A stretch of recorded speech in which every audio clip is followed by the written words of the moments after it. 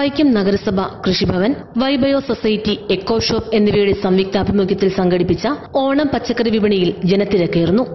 വിപണിയിൽ വിൽപ്പനയ്ക്ക് വെച്ച എൺപത് ശതമാനം സാധനങ്ങളും തദ്ദേശീയരായ കർഷകരിൽ നിന്നും സ്വരൂപിച്ചതാണ്. സർക്കാർ നിർദ്ദേശപ്രകാരം വൈക്കം നഗരസഭാ വളപ്പിൽ തുടങ്ങിയ പച്ചക്കറി വിപണിയിൽ പച്ചക്കറികൾക്കും പഴവർഗങ്ങൾക്കും പുറം മാർക്കറ്റിനേക്കാൾ വിലക്കുറവിൽ വിൽക്കുന്നതാണ് പച്ചക്കറി വിപണിയെ ജനപ്രിയമാക്കുന്നത്. കർഷകരിൽ നേരിട്ടെടുക്കുന്ന പച്ചക്കറികൾക്ക് മുപ്പത് ശതമാനം വരെ വില കുറച്ചാണ് ഇവിടെ കൊടുക്കുന്നത് കമ്പോളത്തിൽ വില പിടിച്ചു നിർത്താൻ ഇത് വളരെയധികം പര്യാപ്തമാണ് അത്യന്താപേക്ഷിതമാണ്.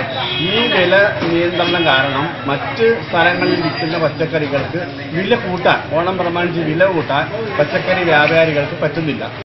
വൈക്കം കൃഷി officer N Anilkumar mason Murali വൈബയോ society president K P Gopalakrishnan secretary K V Pavithran treasurer Thomas Anjilikkathara തുടങ്ങിയവരുടെ നേതൃത്വത്തിലാണ് ഓണം പച്ചക്കറി വിപണിയിൽ വിൽപ്പന പൊടി പൊടിക്കുന്നത്.